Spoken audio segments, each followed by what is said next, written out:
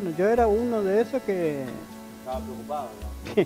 preocupado y no sabía qué era el puente, pues cómo van a hacer un puente.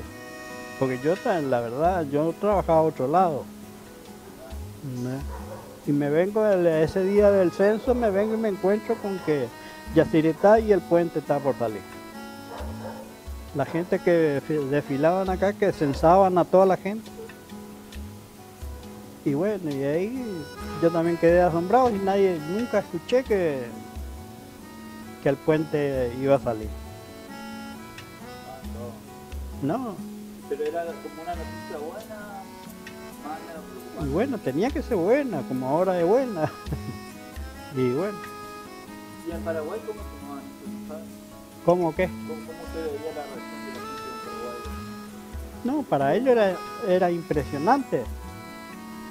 Pero allá no, no pasaba nada y hasta agarrábamos gente de aquellos lados para llevarle a, traerle a trabajar a este lado.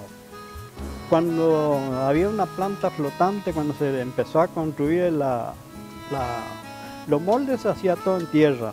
Se llevaba los moldes cuando una que los pilotes ya estaba hecho, eh, se llevaba uno de los, los moldes al lado argentino empezó. Se llevaba y eso nomás le iba colocando fácil era, porque se sentaba arriba del, apoyaba arriba de los pilotes que estaba hecho. Una vez que ya se hizo todo, los pilotes, que empezó a armar y se fue volando.